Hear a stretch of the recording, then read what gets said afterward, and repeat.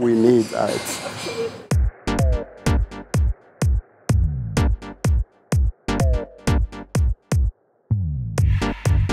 Il. Il. My name is Juan Gaitan. I'm the curator of the 8th Berlin Biennale for Contemporary Art, and it takes place in three venues. The Museums Dahlem, where, where we are now, it's a building uh, that was built in two stages in the early uh, 1900s and uh, then in the 1960s, and has three museums inside the European Cultures Museum, the Asian Art Museum, and the Ethnographic Museum. We are using also a villa called Haus am Waldsee, which is, uh, has been a cultural center not very far from here since the 50s, and the KW or Kunstwerke, which is in Mitte and is traditionally the epicenter of the Berlin Biennale. There is the fourth venue or surplus venue that we call is the Crash Pad. This was the first uh, piece that opened uh, for the Berlin Biennale. When uh, I started, I thought there had to be a space that grounded the Biennale in Berlin and made it and connected it physically to the city and to the community of, you know, artists and writers, musicians, and so on. So I, uh, I asked Andreas Angelidakis, who's an architect who lives in, he lives in Greece.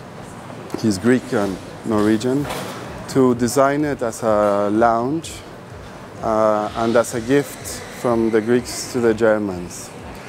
Because anyway, the long story short is that he uh, built his room with all these rugs that he bought in the flea market in Athens that bring back the, his, the Ottoman history of Greece, which is a part of the history of Greece that has been pushed aside and was replaced with the narrative of antiquity and uh, its connection to modern Greece.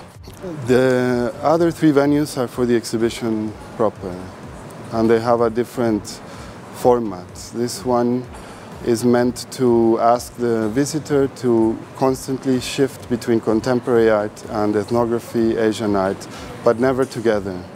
So all the spaces that are dedicated to contemporary art are continuous, and then you move into the museum.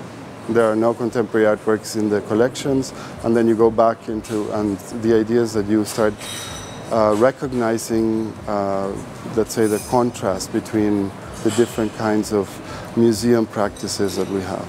The Villa Haus am has a sort of, um, it's an early 20s villa and it belongs to this idea of the romantic landscape and so it's very open and the pieces are much more um, uh, intimate, let's say, and you have this, you know, personal kind of feeling in the part of the exhibition. And then in KW, you are very much in the space of contemporary art. Everything is inwards. You don't really get access to the outside, and you're following the installations one after another. Il.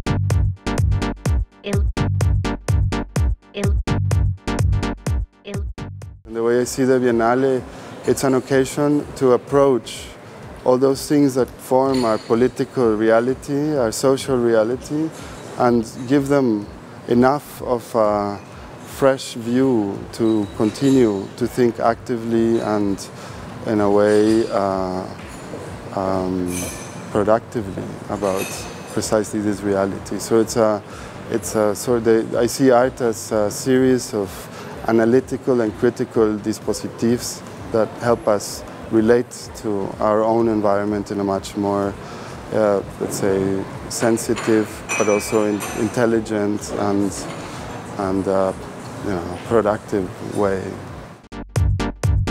Il. Il. Il.